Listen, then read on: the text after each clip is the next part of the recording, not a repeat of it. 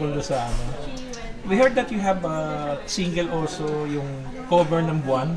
Mm-mm. Cover-cover lang siya, hindi naman, hindi ko naman siya gagawin single. Pero, of course, as a performer, kasi as a, as a singer, kailangan lagi tayong may mga nakabala na mga songs na gagawin and hindi lang po pwede yung mga dating songs na na-popular na i-revive lang natin or cover natin kailangan para makater natin yung masa or para mapasok natin yung mainstream kailangan very popular nowadays yung mga songs na ginagawa. So, isa sa mga yun is yung Buwan ni Juan Carlos. Because I really love the melody. I love everything about it. So, and every time na pinapakinggan ko siya, na, naririnig ko yung mga gusto kong classical instruments na ipasok sa song na yun. So, me and my arranger have been working on it. But I haven't heard the minus one that he did.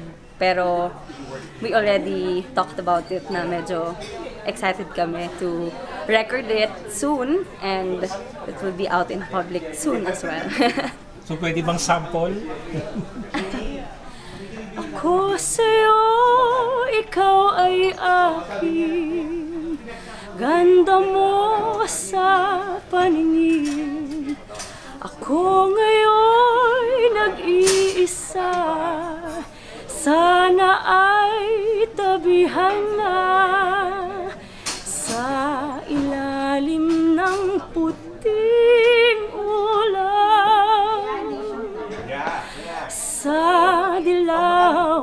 buwan.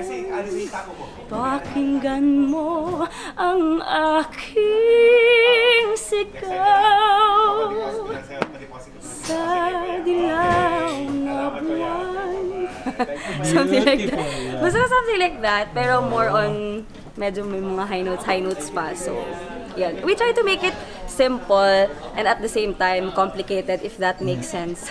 Ayan, ganyang kagaling. Ganyan ang boses nila. So invite mo Thank sila you. to watch your music video. yes, my music video will be available on March 15, 6 p.m. So, sana po supportahan ninyo ako. Thank you. So invite mo nila sila sa Spotify, sa social Yes, media mo. um, it will be launched on March 15.